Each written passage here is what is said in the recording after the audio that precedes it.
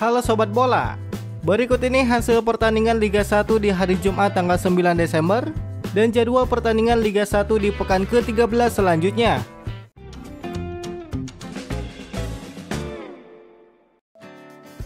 Hasil pertandingan Liga 1 di pekan ke-13 hari ini Ranusantara FC imbang satu sama dengan Persikabo 1973 Sementara itu PSIS Semarang kalah 2-4 dari Borneo FC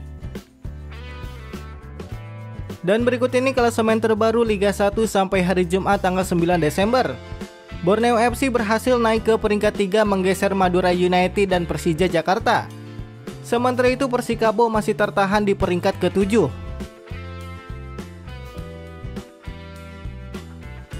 Kemudian PSIS Semarang masih tetap ada di peringkat ke-12 dan Ranusantra FC masih tetap ada di peringkat ke-16.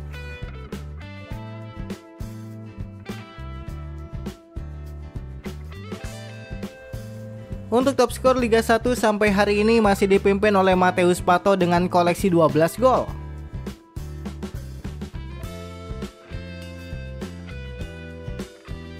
Top assist masih diamankan oleh Fadil Sausu dengan koleksi 6 assist.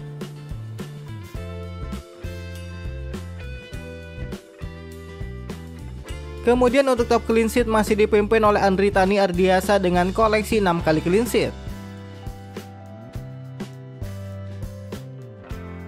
Dan berikut jadwal pertandingan selanjutnya Liga 1 pada hari Sabtu tanggal 10 Desember.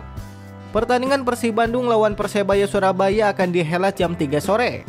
Dan Persija Jakarta lawan Persik Kediri dihelat jam 6 sore. Kedua laga tersebut akan ditayangkan oleh video dan Indosiar.